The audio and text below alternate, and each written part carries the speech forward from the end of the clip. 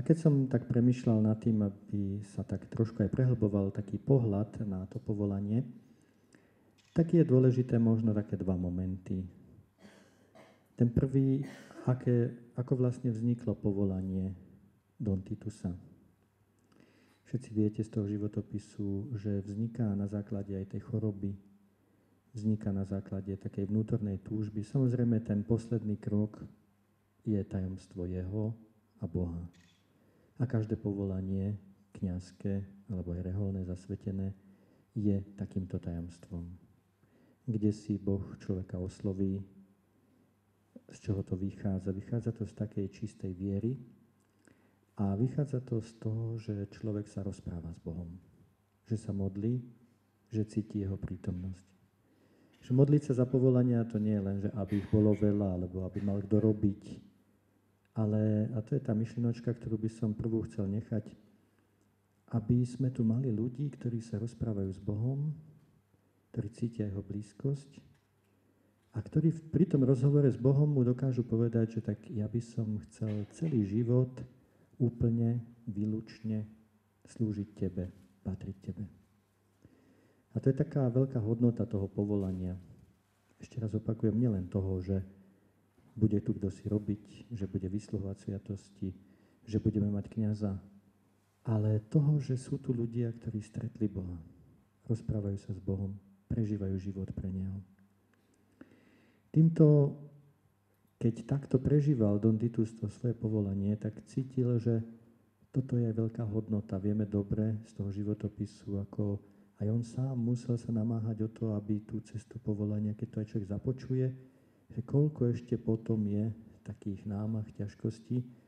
Vieme dobre z toho životopisu, že ani jemu až tak veľmi rodičia neverili, alebo ako si to nevedeli prijať, alebo aj ten Salesian, ktorý ho prijímal v tom šašne, si ho tak preskúšaval, aby teda naozaj vedel, či to tam vnútri je také pevne rozhodnuté.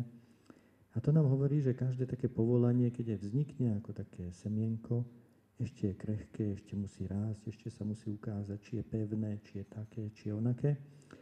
A Don Titus toto ukázal vo svojom živote, že naozaj to, čo tam bolo, to, čo Boh povedal do jeho života, bolo niečo pevné, niečo veľké. A spolu s Božou milosťou to aj rástlo. Bolo to stále silnejšie. A druhý bod, ktorý chcem dneska povedať, je, že ak on si tak uvedomoval túto veľkosť povolania, ak sa tešil z toho, že ho Boh zavolal, že mu dal silu, že mu pomáhal ísť na tejto ceste, tak on toto si nenechal iba pre seba. Nenechal si to len akoby takú, že ja som povolaný, ja som kniaz, ja som teraz niekto, ja patrím Bohu. Ale on toto vedel vidieť aj v iných ľuďoch. Vedel to vidieť v tých ďalších, ktorých Boh povolával. A videl to aj v tých svojich spolubrátoch mladších, ktorí išli smerom ku salesianstvu, ku kniastvu. To ich semienko takisto rástlo, on sa na nich pozeral, videl to tam.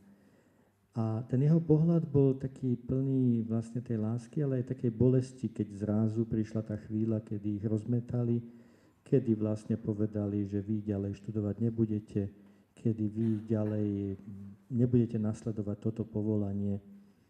A Don Tito sa tak vžil do toho a videl, že škoda by bolo týchto povolaní, keď Boh ich volá a je tu niečo, čo ide proti. A preto sa rozhodol, že spolu s Bohom, spolu s pomocou Božej milosti chce pomáhať, aby tieto povolania rástli.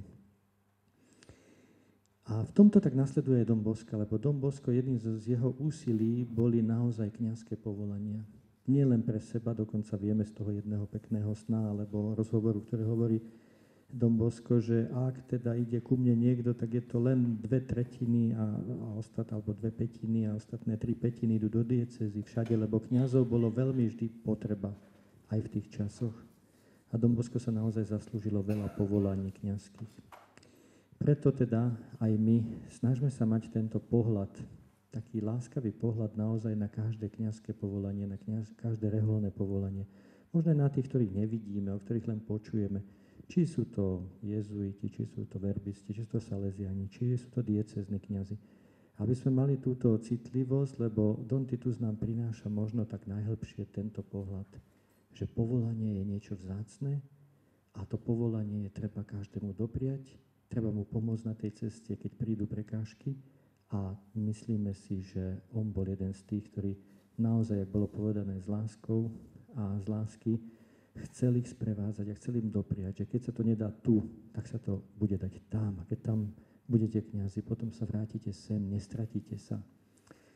A to vlastne za to tomu boli mnohí aj vďační. Tak skúsme aj my s takou, uh, si túto črtu jeho uvedomiť a prosiť naozaj v duchu aj spolu s ním za tie povolania, ktoré už existujú, za tých, ktorých už nie je možno tak strašne veľa, ako sa to aj vidí v tých seminároch alebo aj v našich noviciátoch. Ale určite Boh si volá, určite Boh stretáva ľudí, určite ich oslovuje a my sa musíme za tieto dve veci modliť, aby tí mladí ľudia napriek všetkému, čo tu je, boli schopní odpovedať Bohu a dať mu svoj život a potom sa modliť aj za tých, ktorí už toto povolanie nasledujú, aby boli vytrvali a aby vládali na tejto ceste. Tak nech nám Boží služobník je v tomto príkladom a aj túto dimenziu takej modlitby, prosby za povolania v cirkvi, aby sme ju stále v sebe mali a spolu s ním ju živili.